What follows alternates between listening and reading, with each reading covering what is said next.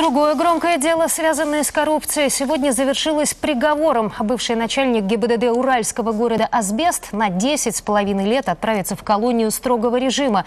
Андрея Мальцева признали виновным в контрабанде наркотиков. Майора задержали полтора года назад, когда он на своем автомобиле перевозил из Казахстана в Россию 30 кило гашиша и более 100 килограммов марихуаны. За два месяца до этого Мальцев уже почти попался с поличным, но майор был настолько уверен в своей крыше, что продолжал подрабатывать, перевозя в багажнике туго перевязанные свертки. Инна Осипова с места событий.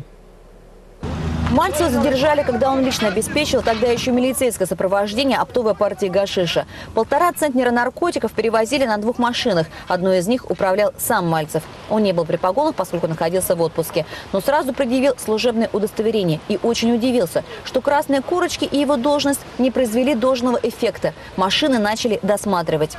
Майор был настолько уверен в собственной безнаказанности, что не особо скрывал незаконный груз. Расфасованные наркотики открыто лежали в багажниках. Своей вины он так и не признал. Машина, говорит, была не его. У друга взял покататься. Груз неизвестно чей, а уголовное дело сфабриковано. А Что вас толкнуло? Почему решили пойти вот на это?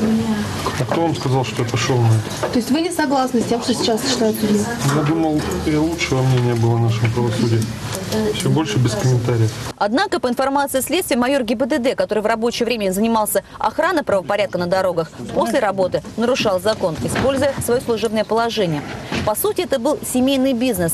Родственник автоинспектора Владимир Чекула и двое его подельников, Коровин и Шишелов, занимались поставками наркотиков, а Мальцев был крестным отцом бандитского клана, покровителем. Он должен был выйти э, из автомобиля, представиться э, начальником э, ГАИ города Асбеста, должность которого он в то время занимал, представить, э, предъявить для э, обозрения сотрудникам милиции э, или другим должностным лицам, которые его остановили, э, свое служебное удостоверение в развернутом виде. На наркобарона в погонах оперативники вышли случайно. За два месяца до задержания они отслеживали перевозку оптовой партии наркотиков через Челябинскую область.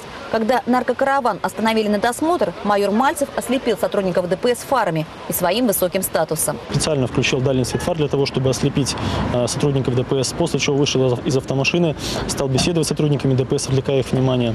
В это время э, его родственник сумел э, выбросить из салона автомашины гашиш, переместив его на обочину дороги. После этого случая за начальником ГИБДД «Асбеста» установили наблюдение, а он, используя свое служебное положение и подчиненных, следил за всеми неизвестными машинами, которые появлялись в городе, и даже не думал прекращать преступную деятельность. Из органов внутренних дел оборотня в погонах уволили сразу после ареста. Кстати, за время следствия майор Мальцев заметно похудел. И сегодня стройном мужчине в наручниках уже сложно было признать некогда большого человека, которому еще год назад все стражи порядка «Асбеста» отдавали честь.